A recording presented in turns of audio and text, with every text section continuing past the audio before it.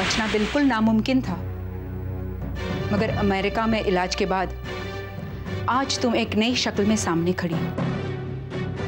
डॉक्टरों के लिए ये अनहोनी होगी, पर यह अनहोनी नहीं है। भगवान ने तुम्हें बचाया है। सिर्फ़ उन पापियों को अपने किए की सजा दिलाने। और उनको सजा दिलाना तुम्हारा कर्तव्य है। इस कर्तव्य से तुम हट नहीं सकते। मगर क्यों, दीदी? इतनी तबाही, इतनी नफरत किस लिए? अपने लिए। उस दर्द के लिए जो तुम्हारे दुश्मनों से तुम्हें मिला।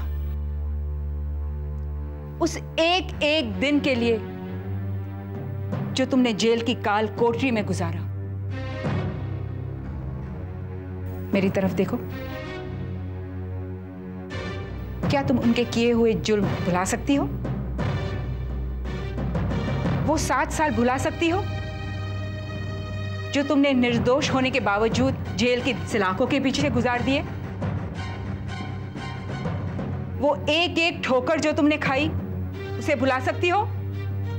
जवाब दो। चलो बाहर। चलो। चलो सब जन चलो सब जन निकलो बाहर। चलो। नखरे करती है सभी। पति का खून करके आई है। खूनी का इनकी ये हीरोइन चल खाना खा ले तू इसे अंदर खाना क्यों दे रही है?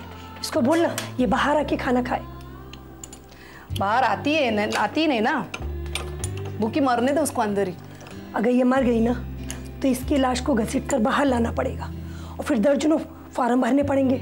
बेहतर यही है कि इसको अंदर रहने दे। कम वक्त कुछ तो सांस लेती रहेगी।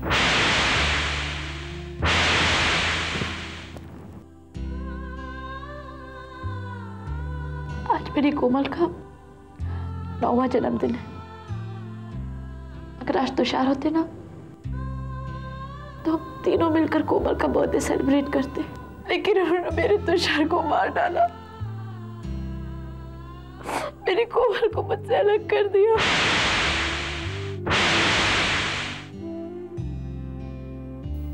बेटी, बेचारी मालूम नहीं। दर दर के ठोकरे खाती होगी। कैसे जीती होगी? जीती होगी या नहीं? मेरी बेटी को कुछ नहीं हुआ है। कुछ नहीं हुआ मेरी कोमल को। मैं तुम्हें इतनी आसानी से नहीं छोड़ूँगी। इतने सालों का रिश्ता ये अपनापन जो तुमने मुझे दिया है वो क्या ऐसे ही खत्म हो जाएगा? नहीं नहीं श्रुति। अभी तो हमें एक बहुत लंबा सफ़र तय करना है। मैं जैसे यहाँ से निकलूँगी तुम्हारे बाहर आने का इंतज़ाम करूँगी। आखिर बदला भी तो लेना है तुम्हारा। मुझे बदला लेना है।